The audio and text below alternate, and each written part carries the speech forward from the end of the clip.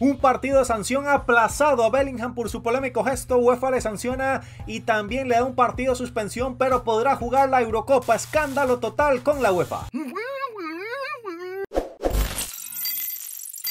Y es que el órgano de control ética y disciplina de la UEFA ha hecho público los cargos existentes contra Jude Bellingham después del Inglaterra-Eslovaquia de octavos de final de la Euro 2024. Cuenta, cuenta. El futbolista tendrá que pagar una multa de 30 mil euros y un partido de sanción aplazado que podría cumplir durante el próximo periodo equivalente a un año. ¿Qué fue lo que dijo? Es insólita esta sanción. Esto viene a significar que Bellingham podrá jugar los cuartos de final contra Suiza este sábado y que el partido de sanción está sujeto a que el próximo año no haga otro gesto similar porque en ese caso será sancionado. Es absurdo. Es ilógico la situación y enfurece totalmente a Turquía. ¿Por qué sucede? El futbolista inglés hizo un gesto obsceno tras marcar gol de chilena en el empate ante Eslovaquia en los octavos de final de la Euro, aunque quiso dejar claro que fue contra el banquillo de la selección eslovaca, es una broma interna mencionada. Una posible teoría. Bellingham e Inglaterra sancionados. Al futbolista inglés se le acusa de la violación de las normas básicas de conducta decente y por ello se le ha hecho pública la decisión de 30 mil euros de multa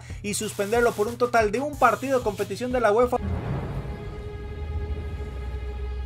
Dicha suspensión no se ejecuta de manera inmediata y está sujeta a un periodo probatorio de un año. Es absurdo. Contando a partir de la fecha de la presente decisión, dice el comunicado. Es absurdo. Aunque no ha sido el único sancionado, puesto que la selección de Inglaterra, o sea, su federación, también ha sufrido una sanción de 11 mil euros por disturbios en el público y encender fuegos artificiales durante el mismo encuentro. Eso tiene sentido. Pero eso no es todas las sanciones. Hay dos partidos para el turco Merit Demiral, que fue el que anotó doblete en octavos de final. Continúa. No ha sido el único partido de octavos de final en Eurocopa que ha sido objeto de sanciones. El Austria-Turquía también ha habido consecuencias para la selección turca en concreto para Demiral. El futbolista deberá cumplir dos partidos de sanción en competiciones de equipos representativos de la UEFA por no cumplir con los principios generales de conducta, por violar las reglas básicas de conducta decente, por utilizar acontecimientos deportivos para manifestaciones de carácter no deportivo, por desprestigiar el deporte del fútbol por este gesto. Esto lo tengo que ver. Por este gesto es que sanciona a Demiral